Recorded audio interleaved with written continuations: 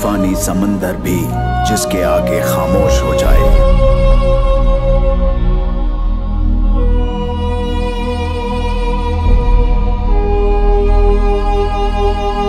हर सरताज जिसके आगे सर झुकाए।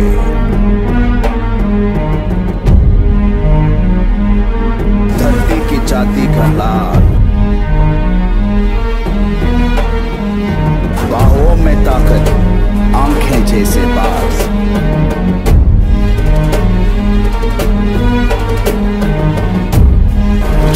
का दुलाल फ़िल्म आर फोर में काम करने वाले दमदार हीरो जूनियर एनटीआर का कैसा रहा फ़िल्मों का सफ़र?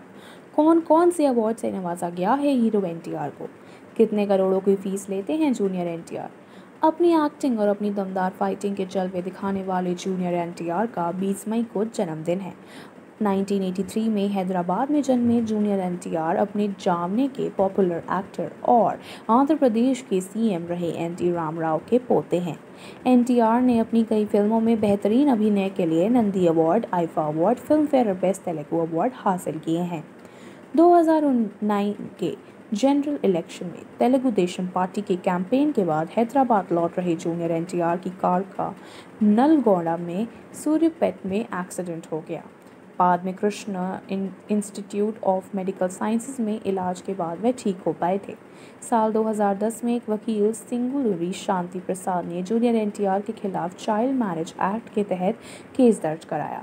उनका कहना था कि जूनियर एनटीआर जिस लड़की से शादी कर रहे हैं, उसकी उम्र सिर्फ़ सत्रह साल है। जूनियर एनटीआर ने अपने करियर में लगभग साउथ की हर एक्ट्रेस के साथ काम किया, लेकिन भूमिका चावला के साथ अफेयर ने खूब सुर्खियाँ बटोरी। जूनियर एनटीआर अपने 18 साल के करियर में कई धमाकेदार रिकॉर्ड बना चुके हैं। उन्हें टॉलीवुड का सलमान खान भी कहते हैं। जूनियर एनटीआर लंबे समय से सबसे ज़्यादा फ़ीस वाले एक्टर्स में शामिल हैं। वह एक फ़िल्म के लिए 18 से 20 करोड़ रुपए लेते हैं। Junior NTR film Rajamouli, film R R R में काम कर रहे हैं। जूनियर एनटीआर ने साल 1996 में तेलुगु फ़िल्म रामायण में एक बाल कलाकार के रूप में अपने एक्टिंग करियर की शुरुआत की। इस फ़िल्म के लिए उन्हें बेस्ट चिल्ड्रंस फ़िल्म का नेशनल अवार्ड भी मिला था।